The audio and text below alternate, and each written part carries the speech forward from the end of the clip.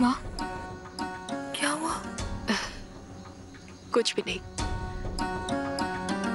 देख बेटा तेरे पापा और मैं बस इतना चाहते हैं कि जितने प्यार से और जितने मान से हमने तुझे पाला है ना तेरा पति भी तुझे उतना ही प्यार करे।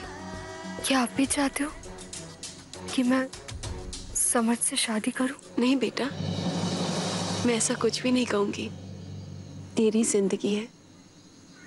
ये डिसीज़न भी तेरा ही होना चाहिए।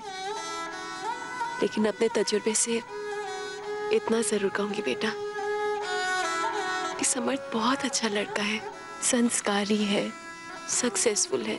और सबसे बड़ी बात बेटा, वो तुझे बहुत चाहता है।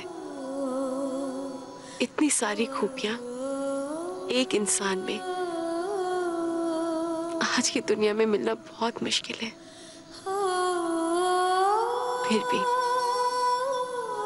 ये सवाल तो अपने दिल से पूछना कि क्या तेरे दिल के लिए समर्थ ये सारी खूबियाँ काफ़ी हैं या तेरा दिल कुछ और ही ढूंढ रहा है?